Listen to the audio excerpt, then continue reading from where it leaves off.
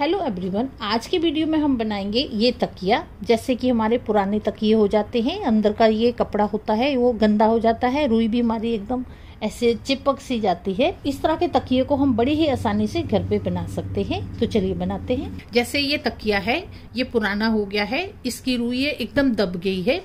तो इसको हमें जैसे फुलाना है, पूरा बनाना है दोबारा। इसका कपड़ा भी गंदा हो गया है, पूरा रिप्लेस करना है इसे।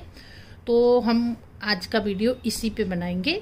तो जैसे ये तकिया है, इसको हमें यहाँ से खोल लेना है। ये सिलाई है, खोल लेंगे और खोलने के बाद इसकी सारी रुई हम निकाल लेंगे। तो तो यहाँ पर मैंने दूसरे पिल्लों की रुई निकाल ली है।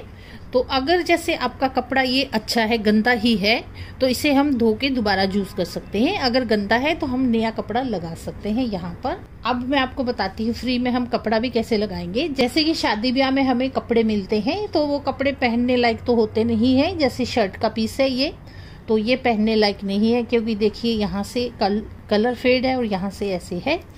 तो इस तरह के पीसेस अगर आपके पास हैं तो आप ऐसे तकिए में यूज़ करने के लिए उसे यूज़ कर सकते हैं, क्योंकि इसको हम किसी को दे भी नहीं सकते तो हम यूज़ कर लेंगे, क्योंकि ये अंदर ही रहेगा कपड़ा।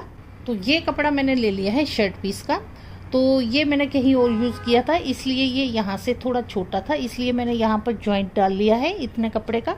अंदर ही रहेगा तो इसमें ज्वाइंट भी हमारा लग सकता है। अब हम तकिए का मेज़रमेंट लेंगे। जिस भी साइज़ का आपको बनाना है, जैसे आपका पुराना है तो पहले आप उसका माप ले लें। तो ये हमारी सिलाई है, यहाँ से लेंगे।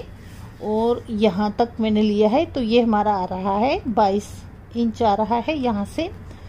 और यहाँ से आ रहा है 15 इंचेस। कपड़े को मैंने इस तरह से सिंगल रख लिया है। अब यहाँ से हम लंबा लेंगे तो 22 इंच है हमारा। तो यहाँ से आधा आधा इंच हमें एक्स्ट्रा लेना है, दोनों सिलाई में जाएगा तो 23 इंच ले लेंगे 23 इंचेस। और इस साइड से हमारा 15 इंच है। तो यहाँ से हमें साढ़े पंद्रह इंच ले लेना है। यहाँ से मैं साढ़े पंद्रह इंच ले लूँगी। आधा आधा इंच हमारा सिलाई में जाएगा। ये लाइन लगा लेंगे। ये लाइन लग गई है। अब इसे हमें इस तरह से डबल कर लेना है। ऐसे डबल हो जाएगा कपड़ा। कपड़े को मैंने डबल कर दिया है। तो यहाँ से देखिए साढ़े पंद्रह इंच है और यहाँ से हमारा तेईस इंच है। तो ये एक्स्ट्रा कपड़ा है। इसे हमें कट कर लेना है। हमारे तकिए की कटिंग हो गई है। ये देखिए मैंने इस तरह से रखा है तो आधा आधा इंच हमारा ये एक्स्ट्रा है, सिलाई में आएगा। कटिंग हो गई है। अब यहाँ से हमें सिलाई लगानी है। यहाँ से लगाएँगे और यहाँ से सिलाई टर्न करेंगे मशीन को, और यहाँ तक हमारी सिलाई लगेगी। ये हमारा जो छः या सात इंच हमें इस तरह से रखना है। यहाँ पर सिलाई नहीं हमारी लगेगी। यहाँ तक सिलाई लगाने के बाद यहाँ से सिलाई लगाएँगे, और ये सिलाई यहाँ तक आ जाएगी। तो सिलाई लगाते हैं। सिलाई लगा दी है। अब ये प्लेस है यहाँ पर। ये मैंने खाली रखा है। यहाँ पर सिलाई नहीं लगी है हमारी। यहाँ से हमें सीधा कर लेना है तकिए के कबर को। सीधा मैंने कर दिया है कबर को। अब ये प्लेस है, यहाँ से रुई डालेंगे। तो जैसे ये पुराने तकिए की रुई है, इसे हमें इस तरह से थोड़ा ऐसे फुला लेना है।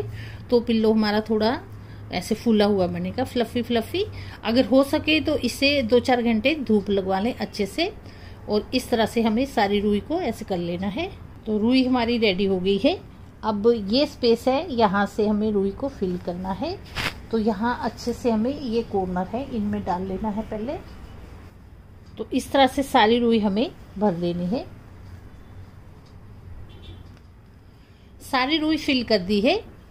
तो जैसे रुई फिल कर दी है तो इसे हमें इस तरह से पकड़ लेना है। यहाँ पे इस तरह डंडे के साथ इसे थोड़ा पीटना है, जिससे रुई हमारी चारों ओर हो जाए। इसके बाद अब ये स्पेस है हमारा। यहाँ पे हमें नीडल के साथ ही इसे सिलना पड़ेगा। हाथ से सिलना पड़ेगा। तो नीडल में मैंने धागा डाल लिया है और इस तरह नोट लगा लेंगे और यहाँ पे छोटे छोटे स्टिचेस हमें देने हैं। यहाँ पर ये अंदर ही रहेगा तो कैसे भी दे सकते हैं स्टिचेस फिर भी थोड़े हमें स्टिचिंग फिनिशिंग के साथ देने हैं। इस तरह कपड़े को ज्वाइंट कर लेंगे।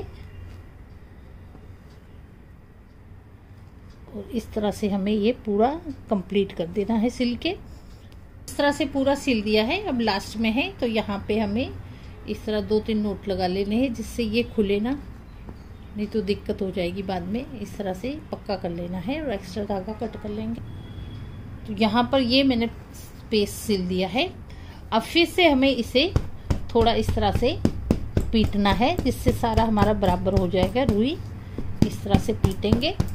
अब देखिए हमारा तकिया एकदम नया का नया हो गया है और फ्लफी फ्लफी भी हो गया है। फ्रेंड्स तकिया हमारा बन के रेडी हो गया है। इस तरह आपके पास भी अगर पुराने तकिए हैं, जो दब चुका है, इस तरह रुई उसकी, उसे आप इस तरह से नया एकदम बना सकते हैं घर पर ही। ऐसे भी हमें साल में एक बार तकिए के जो अंदर के कवर हैं, उनको बदलना चाहिए, क्योंकि उसमें कीटाणु हो जाते हैं।